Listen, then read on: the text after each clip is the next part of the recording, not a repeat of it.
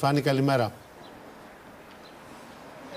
Καλημέρα, Ιορδάνη, καλημέρα Γιάννη. Λίγες ημέρε μετά τον τραγικό θάνατο της παράνομη νοσοκόμα στο Γενικό Κρατικό Νοσοκομείο της Νίκαιας και μετά την αποκάλυψη από την εκπομπή του πρωτοφανούς εγγράφου, με το οποίο Υπουργείο και Διοίκηση ανέθεταν σε συγκεκριμένες αποκλειστικές να κάνουν ελέγχους για παράνομες αποκλειστικές νοσοκόμες μέσα στο νοσοκομείο, 10 μέλη, περίπου 10 μέλη του Ρουβίκονα, εισέβαλαν χθες λίγο μετά τη μία το μεσημέρι στο γραφείο του αναπληρωτή διοικητή για να εκφράσουν την έντονη διαμαρτυρία τους ε, για τα γεγονότα.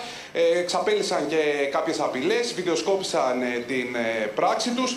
Ε, κάθισαν λίγα λεπτά, έφυγαν, πέταξαν κάποια τρικάκια και εξαφανίστηκαν. Οι, λίγο μετά ανήρτησαν το βίντεο, βιντεοσκοπούσαν όπως είπα την, την ενέργειά τους στο ίντερνετ. Από την αστυνομία δεν έγινε κάποια τελικά προσαγωγή, ούτε σύλληψη Πόσα και μένει άτομα ήτανε, αν Φάνη, ο, πόσα άτομα ο ήτανε; αναπληρωτής διοικητής θελήσει δε, περίπου 10 άτομα, 10 άτομα. όπως φαίνονται, όπως διακρίνονται στο βίντεο.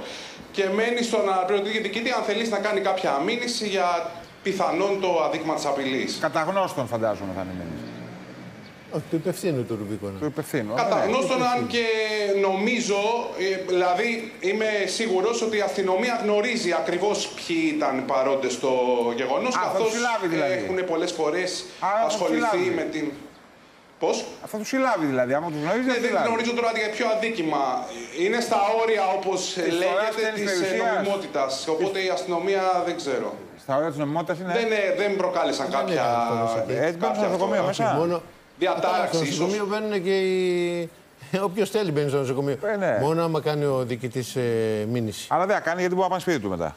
Ε, παιδί μου, εντάξει τώρα αυτά τα πράγματα δεν λύνονται. Να, τώρα βλέπεις, ας πούμε, πήγε ο Ρουβίκα στο, στο γραφείο του διοικητή και τι πιστεύει. Ότι με αυτόν τον τρόπο θα λυθεί το πρόβλημα με τις παράνομες νοσοκομές; Όχι, προσπαθεί να Ο γίνει καθένας, συμπαθής ας ο πούμε, Ρουβίκονας. Γιατί έχει θα μια υπάρχουν και άποψη. κάποιοι ανόητοι που θα Έτσι. πούνε Α, είδες, τον τιμώρησε το διοικητή. Ε, τι το δημόσιο Ναι, ναι. τι Κυρίως- τον έκανε; Κυρίως, αν μου επιτρέπετε, για το έγγραφο, αυτό που αποκάλυψε και η εκπομπή πριν από δύο μέρες, είναι ότι ανέθεσε η διοίκηση να κάνει καθήκοντα αστυνομικούς ε, αποκλειστικές να κυνηγάνε. Ε, υπάρχει συναδέλφους- δικαιοσύνη, συναδέλφους Φάνη, να τους. παρέμβει. Δεν χρειάζεται να παρεμβαίνει ο Ρουβίκονα για αυτά. Υπάρχει δικαιοσύνη. Ναι, δεν Υπάρχει το δικαιολογώ σε αστυνομία, καμία περίπτωση. υπάρχουν, Απλώς λέω για ναι, ποιο τώρα, λόγο Ο Μπεν των Δασών εξέφρασαν τώρα διαμαρτυρία. με τέτοιες συμβολές δεν είναι. Ευχαριστούμε πάρα πολύ. Ευχαριστούμε, Φάνη. Ευχαριστούμε.